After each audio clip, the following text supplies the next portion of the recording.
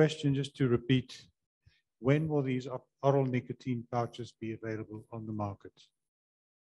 That's certainly one of the burning questions that we ask as well from the Africa Harm Reduction Alliance, is we would like oral nicotine pouches as part of a package of harm reduction products to be available everywhere where smokers can buy cigarettes.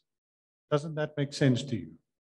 So that there's an option for consumer that instead of the most dangerous product, that they have the option and the information, and more importantly, the risk communication of how that oral nicotine pouch differs from the cigarette.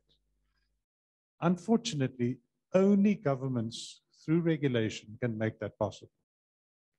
Because if you do not have a regulated framework, then it is almost impossible for the safety of the consumer to be ensured. And you basically get the situation that you have products that are unlicensed, unregulated, and they're being sold on the street worldwide. That's what we want to displace.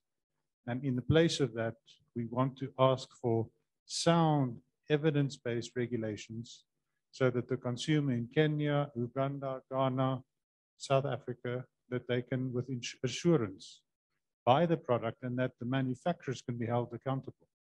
So if they put rubbish in their product, they must be held accountable.